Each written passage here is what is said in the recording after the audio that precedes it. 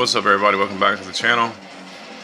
So, apparently, uh, Mr. Charlie Chill Travelz Green, whatever he calls himself, has a, uh, has himself some friends that are either hacking for him, or he's got another account that I done blocked already, because he's putting up these videos of like, the past,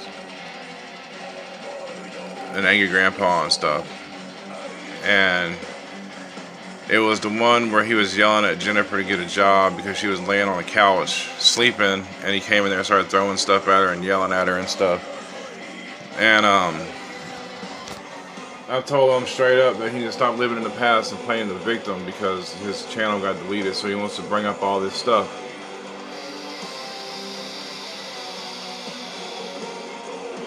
There ain't no reason to be like that dude. I'm the black sheep of my family but people like that, they have they don't have any want to learn in them. You know, they don't want to learn anything from their mistakes. They don't want accountability for their mistakes. They just want to keep on going. You know, they're gonna blame everybody anyway, so it doesn't really matter. And um, there's no reason for the drama that's going on with that. You know, so there's too much drama anyway.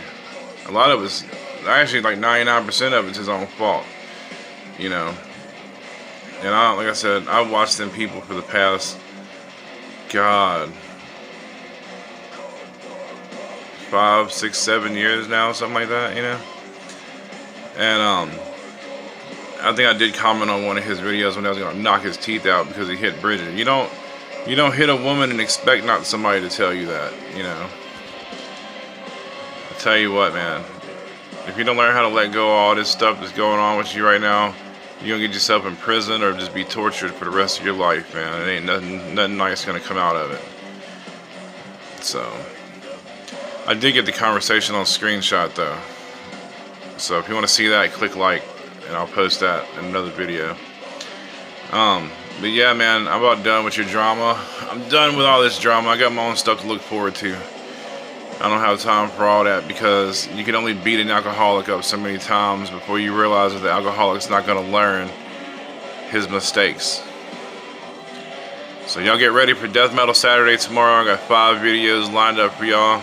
Y'all might like, you know, because I figured, uh, why, why have uh, drama, you know, on Saturdays and the weekend, and why not? Because they cut out Headbangers Ball on MTV, you know.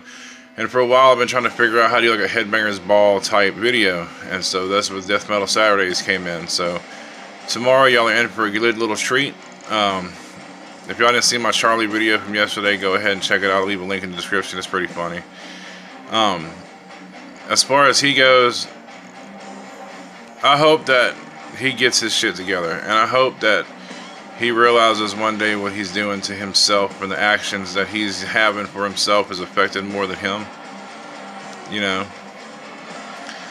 And, uh, you know, it's just ridiculous, man. So, sorry for the short video. Y'all want to see that conversation, click like button. I'll put it on here. I really don't care anymore. Because uh, people like him, they come a dime a dozen. You know. But I hope y'all are having a good weekend so far. It's Friday, you know. So I'll go ahead and have yourself a good weekend. Get ready for Death Metal Saturday and Shout Out Sunday. And I'll get back in with you probably Sunday or Monday. Well, yeah, I'll be back Sunday. I'll be back on here Sunday because I got to do the shout outs and stuff. So thank you for everybody that's subscribing. Click the like button for yourself right now.